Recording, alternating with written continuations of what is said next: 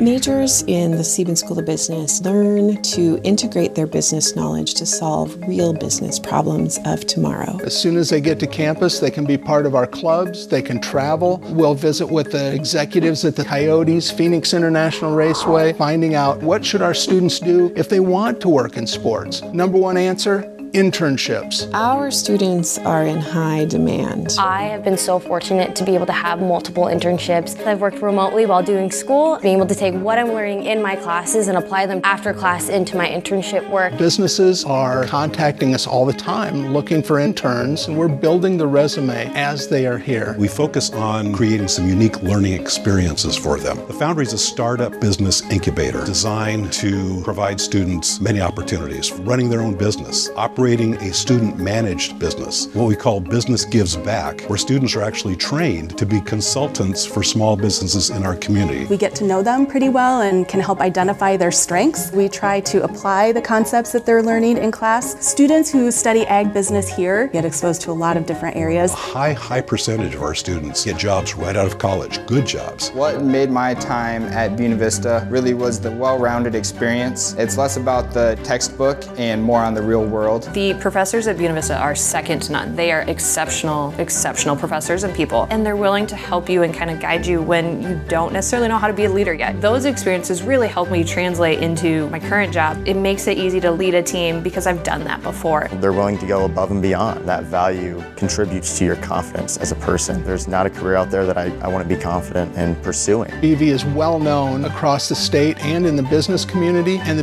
BVU network is so big out there. The networking opportunities are tremendous. I honestly don't think I would be the business student I am if it wasn't for BVU. We're doing so many things for students. You just couldn't be more proud to be part of an organization.